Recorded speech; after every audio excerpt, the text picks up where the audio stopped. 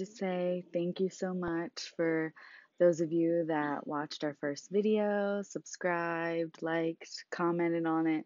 We really appreciate it. We're really excited about this whole thing. This next video is going to be the beginning of some RV renovations, I guess you could say, that I did before we hit the road.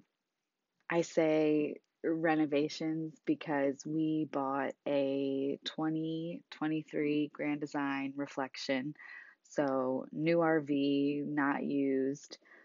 Um, just kind of what we thought was the best fit for our lifestyle and our family.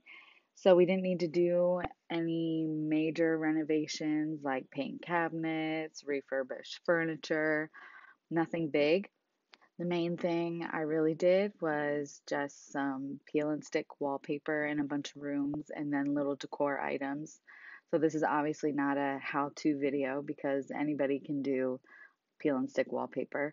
So it's just something to motivate you if there's a DIY project you have in your house or a wall that you've been meaning to wallpaper and just haven't gotten around to it. You can just put this video on in the background give you a little motivation.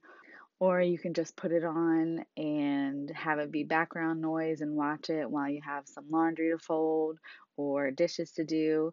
And hopefully, it'll just give you a little motivation for your day. So, I hope you enjoy the video. Don't forget to like, subscribe, comment, and follow us on Instagram. Thanks, guys.